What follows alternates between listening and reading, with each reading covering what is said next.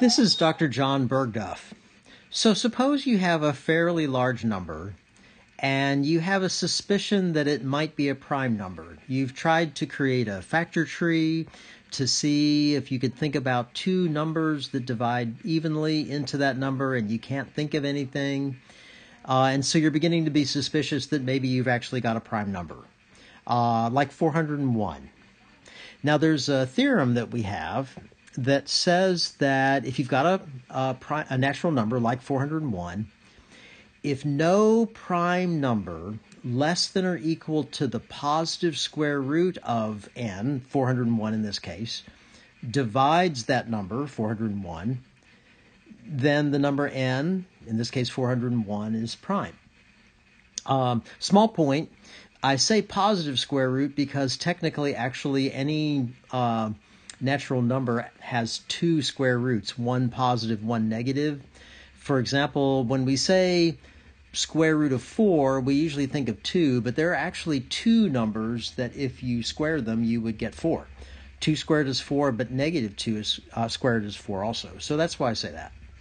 So let's kind of take a look at this question and see what it's saying.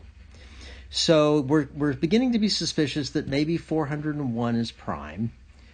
What you do is you calculate the positive square root of 401. Now this requires a calculator. So I'm getting my calculator off out to the side. You can't see me doing this. And I am calculating the square root of 401. And it turns out to be equal to approximately 20 0.02. So here's what you do next. You think about all the prime numbers that you know that are less than or equal to 20.02. So you might use a sieve of Eratosthenes, you might have uh, just a list of primes in your head, but the prime numbers that are less than or equal to 20.02 are 2, 3, 5, 7, 11, 13, 17, and 19. So the task is going to be to ask ourselves whether any of these numbers divide evenly into 401. Is 401 divisible by any of these numbers? So we're going to go through them one at a time and take a look. A couple of them we can use our um, uh, our little tricks that we've learned. For example, divisibility by two. Um, the number itself has to be even to be divisible by 2, so I don't believe that 2 is going to work. The number is not divisible by 2. 3. Well, we could use a calculator, or the trick for 3 is that you add up the digits in the number in this case, 4 plus 0 plus 1 is 5. If that number is divisible by 3, then the original number is divisible by 3. But 5 is not divisible by 3, so, so 3 is not going to work either. Divisible by 5, well, for a number to be divisible by 5, it has to end in a 0 or a 5, which this doesn't. So, not divisible by 5.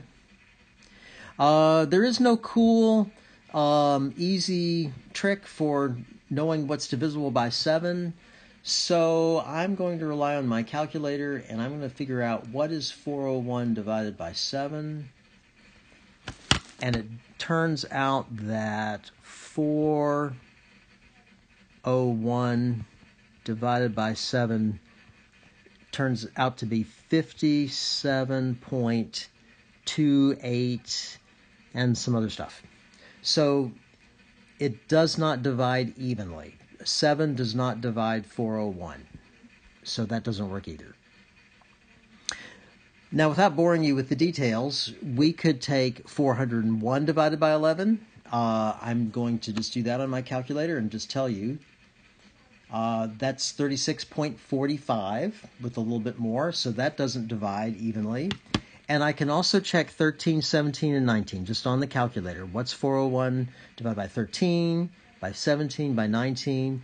If it does not come out to be a whole number, then 401 is not divisible by that number.